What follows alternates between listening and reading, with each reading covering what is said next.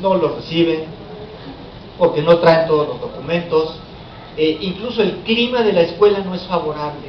Eh, los bulean porque es el pocho, el gringo, el que no habla bien español.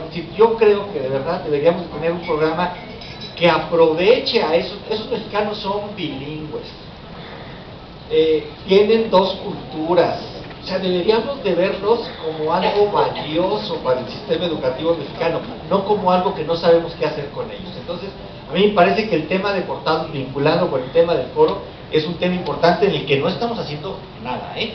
más que de repente poniendo allí algunos obstáculos. Entonces yo sí creo que necesitamos un programa muy ambicioso en esa, en esa lógica. Eh, segundo, este, el tema de los documentos, miren, los consulados emiten un millón de matrículas por año, un millón de matrículas consulares por año. Nada más esa base de datos, ya podría dar información muy valiosa para construir programas y políticas públicas. yo sí creo que hay un tema de no utilización, hay un tema de desconocimiento probablemente, pero hay un tema, yo creo, más grave de, no utilización de la información de la que disponemos y de congruencia con el diseño de políticas públicas. Eh, por ejemplo, eh, del 1.7 millones de posibles DACA, estos eh, jóvenes de, la acción diferida que podrían aplicar y mejorar su estatus y tener un permiso temporal, dos años, etcétera, alrededor de 1.2 millones son mexicanos. La mitad no ha aplicado.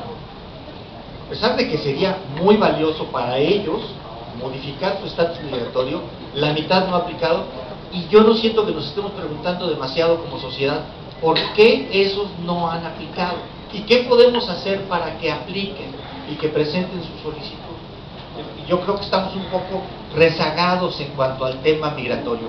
Y concluiría diciendo algo que mencionaron que es muy cierto, es decir, yo sí creo que necesitamos un ejercicio de congruencia.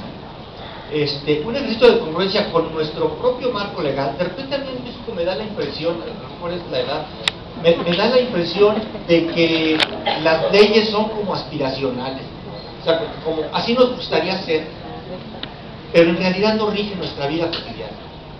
La ley de migración mexicana es quizá de las más avanzadas, pero no ha habido una reforma del marco institucional, no ha habido una reforma de las prácticas de las instituciones. El propio INAMI depende de la Secretaría de Gobernación. La Secretaría de Gobernación es la responsable de la seguridad nacional. Entonces estamos heredando nosotros el modelo estadounidense que tanto criticamos. ¿Por qué no depende de Ceresol? Para nosotros la migración no es un tema de seguridad, es un tema de desarrollo. ¿Por qué no depende entonces el INAMI de las áreas de desarrollo? ¿Por qué heredamos el modelo de los países receptores? Yo creo que esa reflexión no la hicimos después de la ley. surge la ley de migración, que creo tiene, que es un avance, creo que contiene puntos positivos, pero no hubo una reflexión, no hubo una especie de, de zarandear al sistema migratorio mexicano en función de la ley.